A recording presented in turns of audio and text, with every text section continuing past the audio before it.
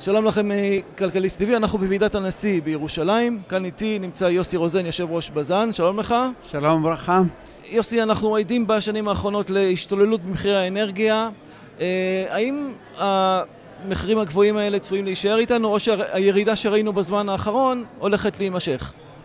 תראו, השינויים התכופים במחירים נובעים משלושה אה, גורמים. האחד, ביקוש והיצע טבעי. השני, ספקולציות במחירי הנפט. השלישי, אה, נושאים גיאופוליטיים.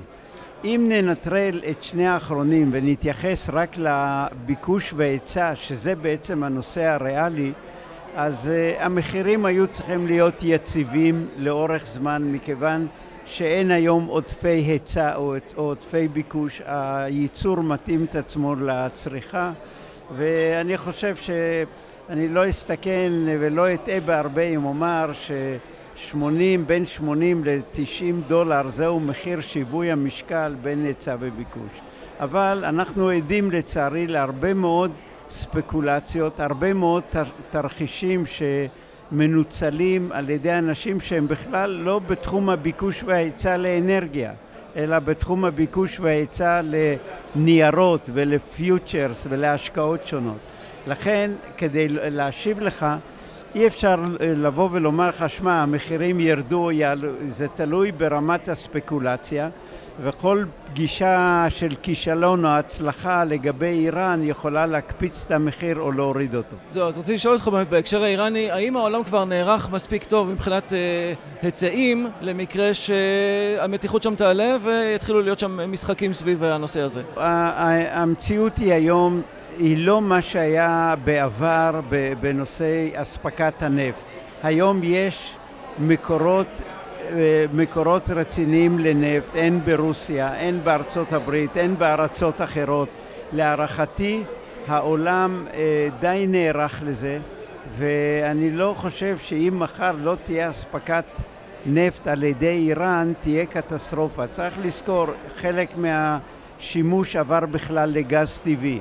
וחלק הוא בדלקים ואני לא צופה משבר או מחסור אה, בשוק הנפט ואם תהיינה עליות חלקן נובעות מספקולציה ולא ממחסור בנפט. לסיום הייתי רוצה לשאול אותך משהו על צרכן הדלק הישראלי אה, האם רמות של 80 דולר או אפילו פחות יגיעו ממש לכיס שלנו? זאת אומרת האם אנחנו כנהגים וצרכני אנרגיה נוכל ליהנות מההוזלות האלה? הצרכן הישראלי נהנה אוטומטית מירידה או מעלייה, מכיוון שמחירי הדלק בישראל הם אה, קודם כל מחירים בינלאומיים, יש יבוא חופשי לישראל ואי אפשר להעלות מחירים באופן חד צדדי. מחירי הדלק בישראל נקבעים מדי חודש על פי ממוצע מחירים באגן הים התיכון, כך שראינו מיד עם ירידת המחירים לפני כחודש מחירי הדלק ירדו בקרוב ל-30 אגורות בתחילת חודש יוני. הדבר מועבר אוטומטית לצרכן. אבל אין צ'אנס שנגיע לרמות מחירים כמו בארצות הברית למשל? אם אה, תהיה לנו אספקת נפט כמו בארצות הברית ומערכת הולכה כמו בארצות הברית, נגיע, למרות שהיום מחירי הנפט בארצות הברית לא נמוכים בהרבה, מחירי הגז שם נמוכים בהרבה כי יש להם מקורות עצמיים.